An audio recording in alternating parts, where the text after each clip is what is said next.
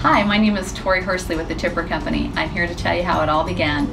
So, in a salon much like this one, me and my sisters and my nieces had a salon together, and our cute dad would come in quite frequently and see how we were doing and check up on things. One day, my sister spilled a whole entire bottle of red polish all over our brand new carpet, and spent, we spent a long time trying to get it out. Um, so my dad, being the inventor that he is, him and his creative brain went home and designed a product called the Tippur. When he brought it in the next day to show us and says, hey, we, I have invented something that will help you guys not spill your polish, we were quite excited until we saw it. And it was a little bit clunky and, and a little bit odd, but we were willing to try it out.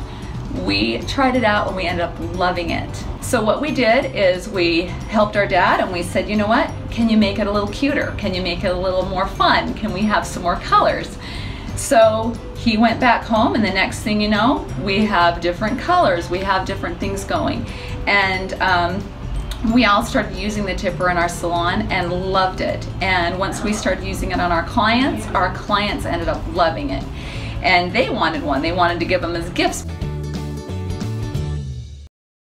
See what everyone's talking about and discover for yourself. Go to www.tippur.com.